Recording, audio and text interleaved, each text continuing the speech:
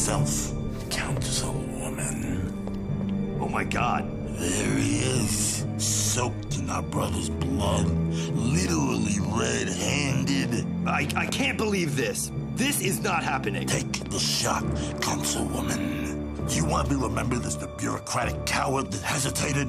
What do you gotta see Dr. Venture slit your husband's throat before you end this madness? Madam, I beg you, shoot him or step aside! He's a killer!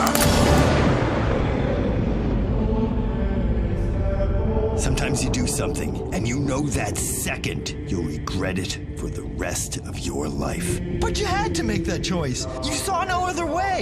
You're a tiny part of a big machine. And you feel small, like you don't matter. But it's so beautiful.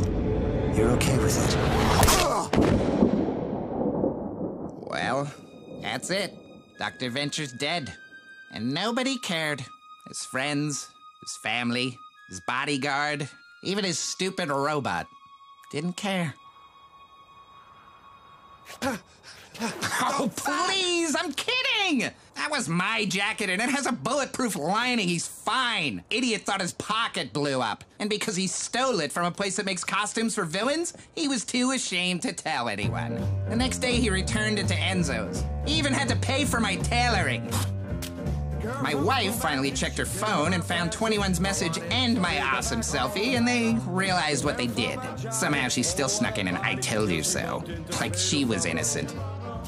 Why, you're worried about my poor henchman? It's his job, please. And me? I'm in the clear. I look great. This, this is a happy ending. Ding ding around one. Now the battle's begun.